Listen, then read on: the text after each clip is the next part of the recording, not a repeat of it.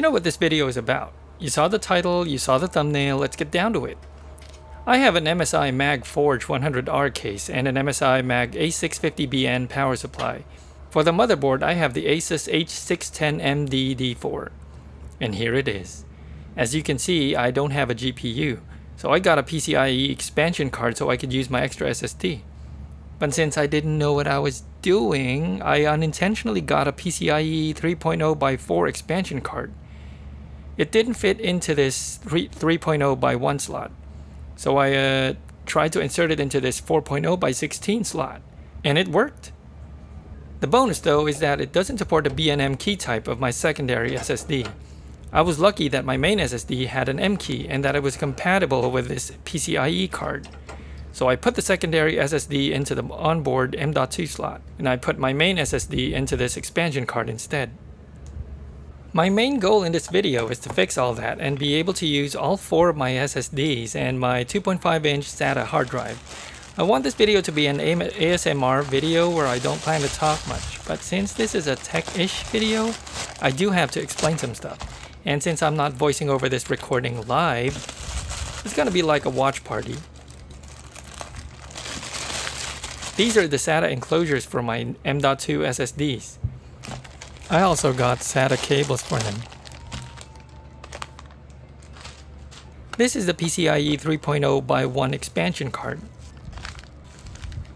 And oh, I got a second one just because they were so cheap, I had to have a backup just in case the first one didn't work. See? Same same. Ish. You know that very annoying friend who over-explains or spoils the show you're watching? Well, that's gonna be me for you today. I'll try not to annoy you too much. These are my SSDs. Note their connectors. Their key types. You'll see why later.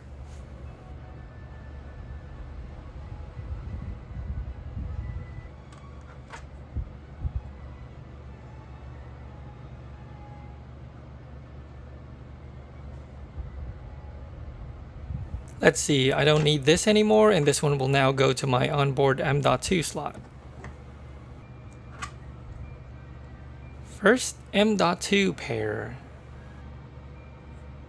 Success.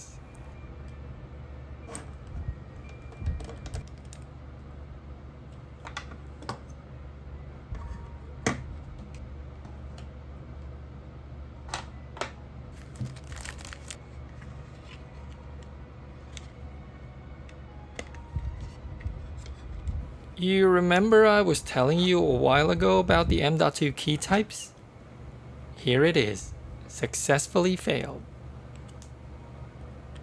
Mm, nope, doesn't work. I had to have a game plan. My main SSD had to go into my onboard M.2 slot. This was non-negotiable. I had one SSD which has an M key, and I had two SSDs which had B and M keys. My PCIe card was compatible with any, but my SATA enclosures were only compatible with B and M keys. I wasn't able to record it, but I had to transfer the Crucial SATA SSD I put onto the PCIe card a while ago and transferred it to one of the SATA enclosures. Then I put my Kioxia SSD onto the PCIe card.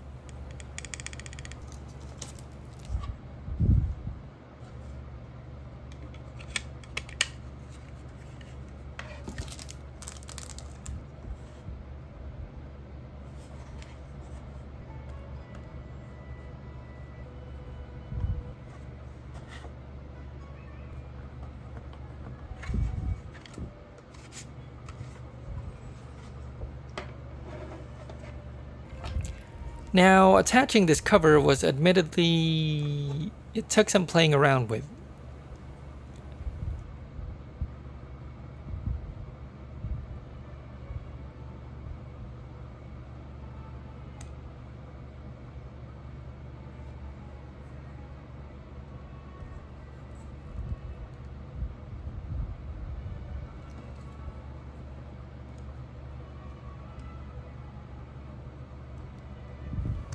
There we go. I don't know why, but removing these always made me anxious.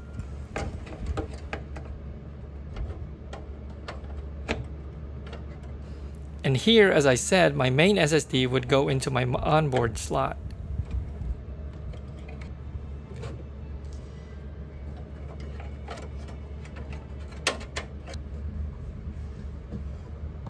And here, like an old man with his visual aids, I use my fingers to show you instead of using my mouse pointer.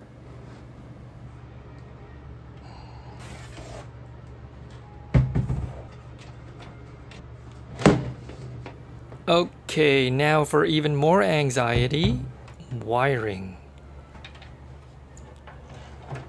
It took me 65 million years to finally get this right. So I had to edit it into what you young people call a montage.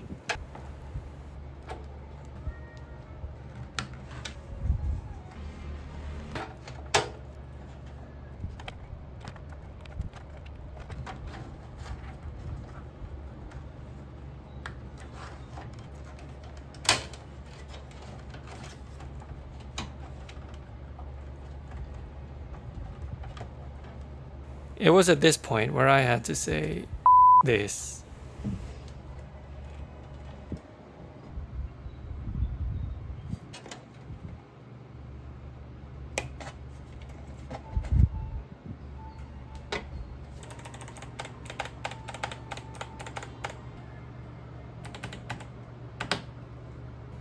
Now you can see all four SSDs detected by my computer two NVMe ones using the M.2 interface, and two SATA ones using the enclosures.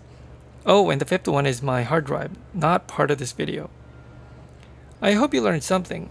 Please like or share or insert whatever people on YouTube say nowadays. Oh, and for the record, this blinking thing is very annoying at night.